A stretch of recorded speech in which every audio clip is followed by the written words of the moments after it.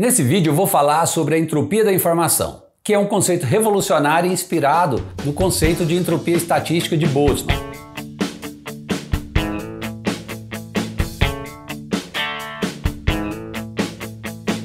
Olá pessoal, bem-vindo ao Verbo Científica. Essa é uma iniciativa voluntária apoiada pela Universidade Federal de São Paulo para levar a ciência para quem quer aprender. Se isso pode ser útil para você, assine o canal e já deixa um like nesse vídeo porque é assim que o YouTube entende que o conteúdo é bom e passa ele para mais pessoas. Em 1948, Claude Shannon publicou um artigo intitulado Uma Teoria Matemática da Comunicação. Esse artigo marca o nascimento da ciência da comunicação moderna. Embora seja indiscutível que o progresso nas tecnologias da comunicação não seria possível sem o transistor, esses progressos também não teriam acontecido sem as bases conceituais lançadas por Shannon. E um destes pilares é a moderna adaptação do conceito de entropia para medir uma quantidade de informação. Antes, vamos entender a diferença entre informação e comunicação. Informação pode assumir uma definição muito geral, mas para fins práticos, podemos entendê-la como algum conhecimento que possa ser armazenado em mídias como livros, fotos ou HDs. Uma vez armazenada a informação, podemos transportá-la através de um canal por um meio eletrônico, via cabos ou conexões sem fios. É esse transporte de informações que nós chamamos de comunicação. Informação, tal qual definida por Shannon, é uma quantidade objetiva real, como massa e energia são na física. Assim, é importante saber como medir a quantidade de uma informação numa dada mensagem ou, de forma geral, de um sistema. Para isso, Shannon introduziu uma expressão para medir a quantidade de informação. A essa medida, ele deu o nome de entropia da informação. Apesar de ser chamada de entropia, a medida de quantidade de informação não tem nada de físico, nada que lembre a entropia de Boltzmann, a única semelhança é a sua formulação matemática, como nós veremos já já. Antes disso, vamos ver alguns exemplos onde podemos empregar o conceito de entropia da informação. No nosso primeiro exemplo, vamos jogar um jogo simples. Quem sou eu? Eu tenho esse mosaico de personalidades e quero que você adivinhe qual delas eu tenho como a minha predileta. Mas para descobrir, você só pode fazer perguntas binárias. Uma pergunta binária é aquela que pode ser respondida apenas com sim ou não. A quantidade de informação que você precisa está relacionada ao número n de perguntas binárias que você precisa fazer para descobrir quem é a pessoa que eu escolhi. Quanto mais perguntas forem necessárias, maior o número de possibilidades e maior é a incerteza sobre quem é a pessoa escolhida. Suponha que o mosaico tivesse apenas uma pessoa e eu lhe perguntasse qual foi a pessoa escolhida. Não precisa de pergunta alguma, você teria certeza, pois só tem uma opção. Assim, o número de perguntas é zero, logo n vai ser zero. Então, a entropia da informação também vai ser zero. Então, neste caso, não haveria incerteza e também não haveria nenhum ganho de informação. Agora, se o mosaico tivesse duas pessoas, quantas perguntas binárias você precisaria? Você precisaria apenas de uma, n igual a 1. Basta perguntar: é Ronaldo? A resposta será não, e você descobrirá que o escolhido foi Bob Dylan. A entropia deste mosaico, então, será 1. Aqui houve um ganho de informação. Note que a informação em si, que neste caso é quem eu estou pensando, é pouco relevante. O que é relevante aqui é a quantidade de informação que está em falta para que você saiba quem é a pessoa escolhida. Voltemos ao mosaico, agora com 32 pessoas. Mais pessoas significa mais incerteza. Logo, mais perguntas serão necessárias. De qualquer forma, sempre será desejável que você mate a questão com o um mínimo de perguntas. E para isso, você tem que planejar a sua estratégia de perguntas de maneira inteligente. Tem muitas estratégias, umas mais bestas, outras mais espertas. A mais simples e mais besta também é chutar o nome da pessoa que você acredita que eu tenha escolhido. Com essa estratégia, você poderá acertar logo na primeira pergunta.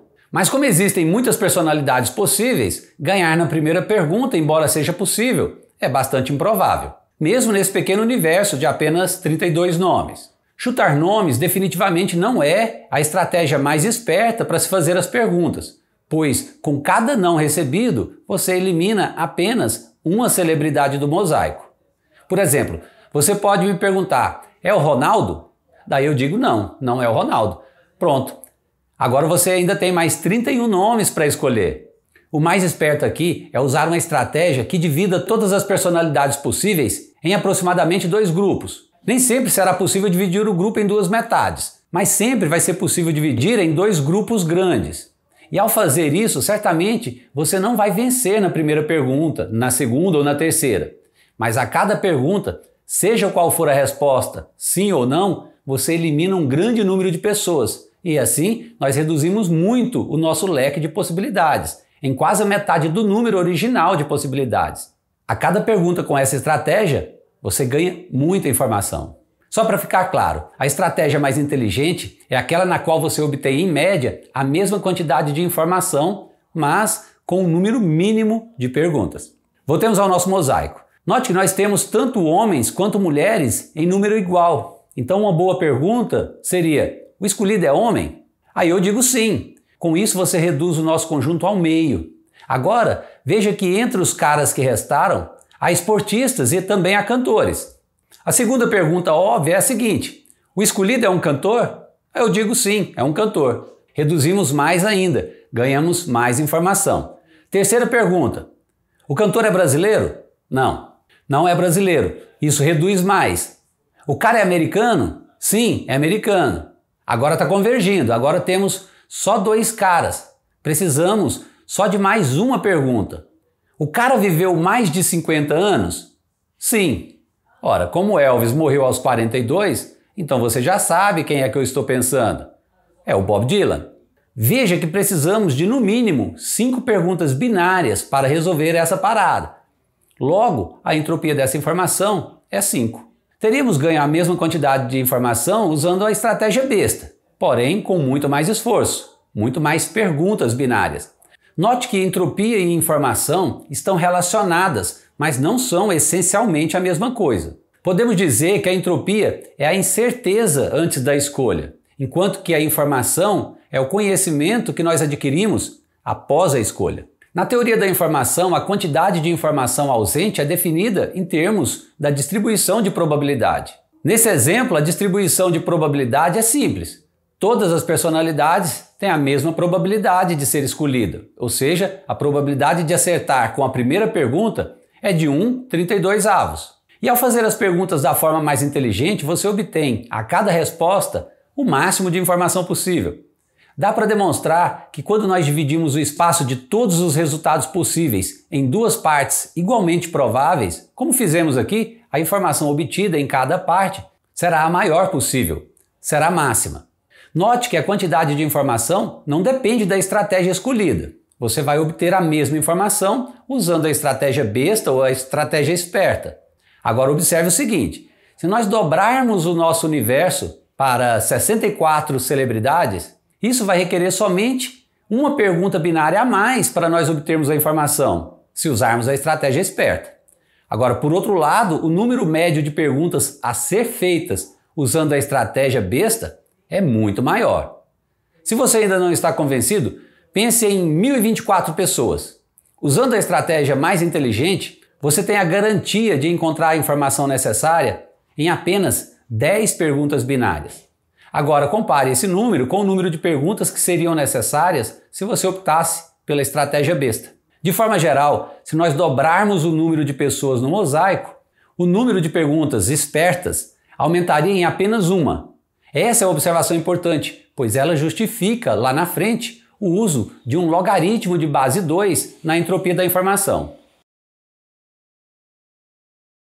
Consideremos outro exemplo. Suponha que tenhamos inicialmente oito bolas, todas da mesma cor, vermelha. A probabilidade de você adivinhar a cor de uma bola sorteada aleatoriamente é 100%, pois você tem certeza da cor escolhida. Não é preciso fazer pergunta alguma. Não há ganho de informação. Entropia zero. Vejamos outro caso. Suponha que agora, das oito bolas, duas sejam vermelhas, duas sejam laranjas, duas sejam amarelas e duas sejam brancas. Para saber qual a cor da bola sorteada, você pode fazer perguntas. Nesse caso, você pode perguntar: a bola é vermelha ou laranja? Sim.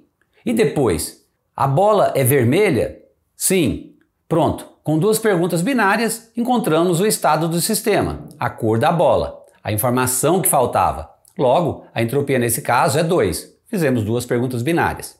Neste exemplo anterior, a probabilidade para todas as cores era a mesma, era uniforme.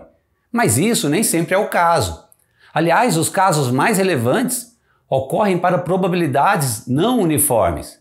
Vejamos um caso para o qual as probabilidades não são iguais. Por exemplo, das oito bolas, quatro são vermelhas, duas são laranjas, uma é amarela e uma é branca. Você pode fazer as mesmas perguntas que antes. A bola é vermelha ou laranja? Não, não é. A bola é branca? Não. Então, a bola é amarela. Neste caso, novamente encontramos entropia igual a 2. Mas esse não é o menor valor possível, pois a estratégia usada para as perguntas não foi a mais esperta. Como a bola vermelha é a mais provável, a melhor pergunta inicial seria a seguinte: a bola é vermelha? Se a resposta fosse sim, ótimo. Agora, se não for vermelha, você ainda poderia perguntar: a bola é laranja? Se for, ótimo. Se não, faremos ainda mais uma pergunta: a bola é amarela? Agora, qualquer que seja a resposta, saberemos se a bola é amarela ou branca. Veja que se não tivermos sorte, podemos escolher as bolas amarelas e brancas. Daí, precisaremos de três perguntas para saber a informação, que é a cor da bola sorteada. Mas podemos ter sorte e escolher uma bola vermelha, para a qual uma pergunta apenas seria o bastante. Então, por conta de metade das bolas serem vermelhas, metade do tempo vamos precisar fazer apenas uma pergunta. Em 25% do tempo, precisaremos de duas perguntas e nos outros 25%, três perguntas. Qual é o valor da entropia então neste caso, já que o número de perguntas agora é variável? Bem, a entropia neste caso será a média ponderada do número de perguntas, ou seja, 1,75. Para cada 100 sorteios, serão necessárias 175 perguntas. Este é um caso intermediário entre o estado de entropia mínima, onde todas as bolas são vermelhas, e o estado de entropia máxima, onde temos duas bolas de cada cor. Mas como é que essa quantidade de informação que nós discutimos nos exemplos do mosaico e das bolas pode ser descrita matematicamente? É aqui que entra Shannon. Ele desenvolveu uma descrição matemática simples para a informação. A fórmula de Shannon mostra a média da informação. Nesta expressão, o símbolo de somatório representa uma soma sobre todas as classes envolvidas no problema. No caso das bolas, por exemplo, quatro cores. O uso de uma função logarítmica com base 2 se deve ao fato de que lidamos com informação binária, uma mera conveniência matemática aqui. Nessa definição, PI é a probabilidade ou a frequência em que um determinado item I ocorre.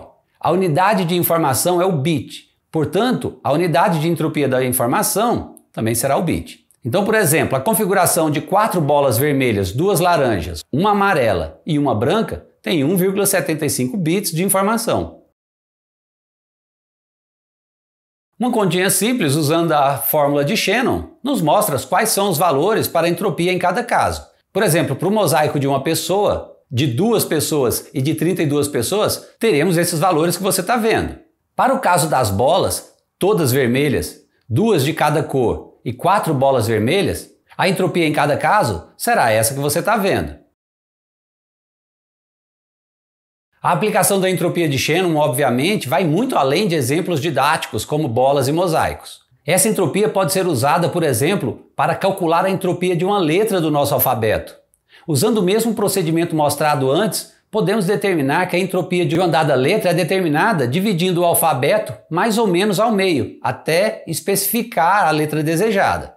Fazendo isso, nós podemos encontrar o valor médio de 4.7 bit para cada letra, se considerarmos todas igualmente prováveis. Uma palavra de oito letras, como por exemplo problema, terá a entropia de 4.7 vezes 8, ou seja, 37.6 bits.